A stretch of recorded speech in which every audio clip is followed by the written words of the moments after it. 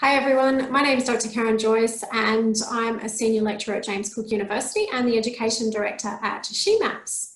I'm a scientist and an educator and I believe that there's a science for everyone. You just need to know where to look. And my science is all about remote sensing. And so I got into doing remote sensing because I realized that the best maps that you make with remote sensing are ones that have been field checked and I realized that I could actually get paid to go scuba diving and snorkeling on the Great Barrier Reef to check the maps that I made with satellite data. So that's how I started. So I'm going to take you to the Great Barrier Reef. So off the coast of northeast Australia, the coast of Queensland, you'll see just behind me this really big area. And so this is about the size of Italy. So it's quite a large area and it covers about 3,000 individual reefs. That's what makes up the Great Barrier Reef. So it's not just one reef, but lots and lots of small ones. And I'm going to drop all the way down to the southern end and take you into this one little reef here. So just one of 3,000. This is called Heron Reef. And this is where I've been working for the past 20 years to try to understand how much live coral we have on the Great Barrier Reef using Heron as my test site. So if you think about heron, it kind of looks like an upside down dead rat. And the eye of the rat up there in the corner there is the island. It's about 800 meters long by 400 meters in the north-south direction, so pretty small. And the rest of it is the reef around it. And in the in the east to west direction of the reef, it's about 11 kilometers by four kilometers. So actually really, really big compared to the island itself.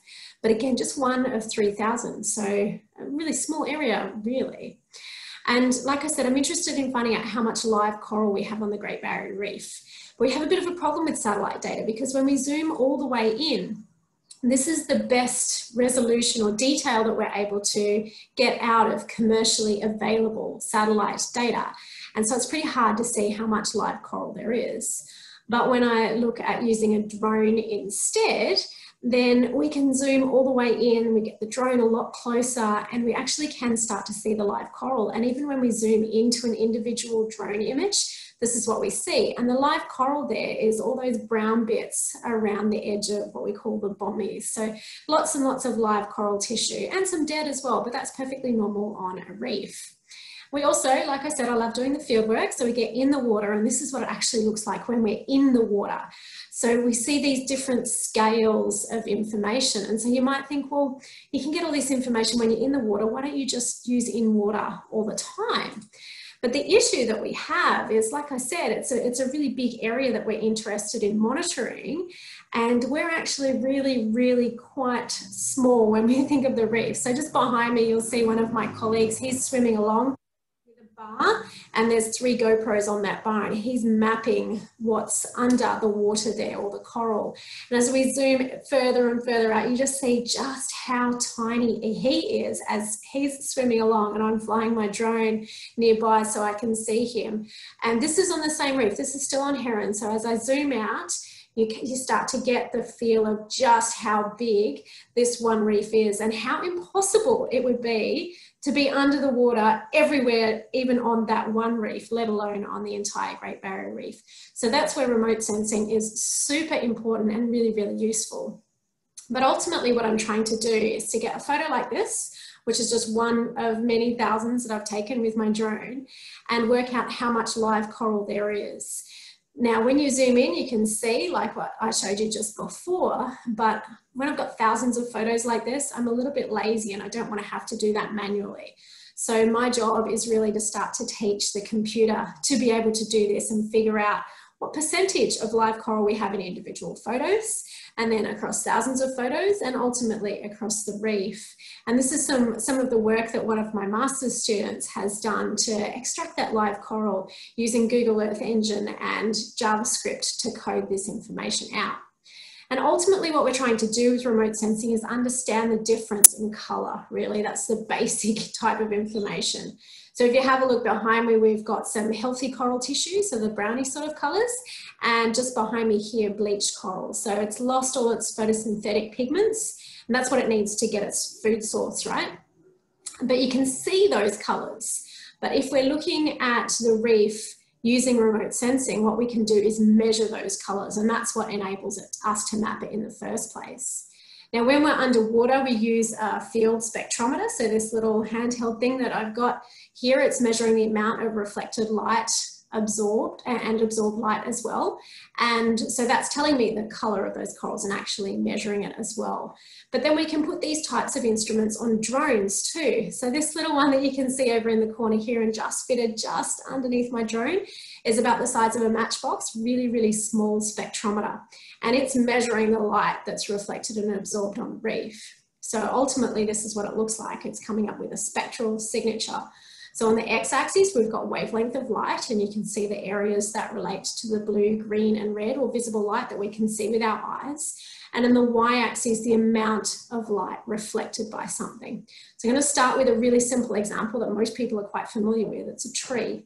So mostly we think that trees are green, so if we think about the way light is reflected and absorbed by a tree, you'll see that there's this little bump just here, which is the amount of green light that's reflected. That's why we see it as green as opposed to red or blue because it's absorbing in those wavelengths of light.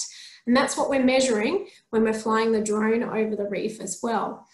And so that's really simple with a tree, but you know, we can get this sort of information from the reef as well. So if I look at a coral, interestingly, we see that it has these really interesting three little bumps just here, and that's how we know that there's some live coral tissue.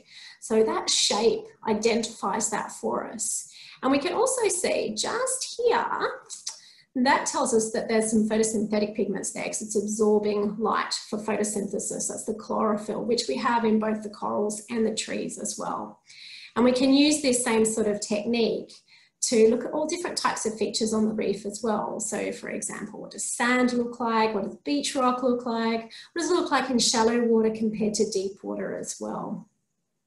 Now, some of the other cool things that we can do with drones, we can take, take our photos directly down and then we can use this information to look at water. So not just the coral that's underneath, but the water. And I'm particularly interested in water temperature. So if we think of this photo, this was just taken actually by a GoPro on a drone. Now, if we go to the same area and use a thermal camera, so it's measuring temperature, we can see different things in the water. So we can no longer see the bottom, but we can see the temperature of the water and the wreck as well. And this is providing us information on water circulation on the reef, which is also really important, we think, for understanding patterns where coral is bleaching and not. You might have seen some three-dimensional models of trees and, and in terrestrial environments. We can do the same in shallow waters on a reef as well. This also helps us understand water circulation so we can really see that three-dimensional environment under the water there, which I think is super cool and lots of fun to do. And another project that we've been working on is counting sea cucumbers. So you can see the sand on the reef just behind me, all the really bright white stuff, but then you can see these black squiggles. They're sea cucumbers. Now, sea cucumbers are important because they chew through all the sand and all the bits and pieces in the sand, and, and effectively they're cleaning it through a process that we call bioturbation. Really, what it's doing is pooping out the back. But what we figured out through using drones and satellite remote sensing is that we've got many, many thousands and into the millions of these sea cucumbers across Heron Reef. And what they're doing through all their pooping that they're doing over the course of the year, they poop about the equivalent of five Eiffel Towers weight in poop. And that's really important because that circulates all the nutrients on the reef. And we can only find that sort of information out using remote sensing. So it's a really, really powerful tool for us. I'd like to finish up just quickly with a question for you and an ask because I really need your help. So I'm starting working on something that I think is really, really exciting. And what I would like to know is if you care about the environment and you're interested in maybe some of the applications that I've talked about or how drones could be used in other parts of the environment that you care about, if you have a drone or you're interested in a drone, I would like to hear from you and I would like you to come and help me with this mission that I'm on. I can't tell you too much about it, but if you're interested in the environment and in drones, and especially if you have a drone for yourself, can you email me and I want to I want to get you in touch with a project that I'm working on at the moment. It's highly top secret, but if you're interested, I'd love for you to come and join me on my mission. Thanks for tuning in. Great to see you all and I hope to hear from you soon.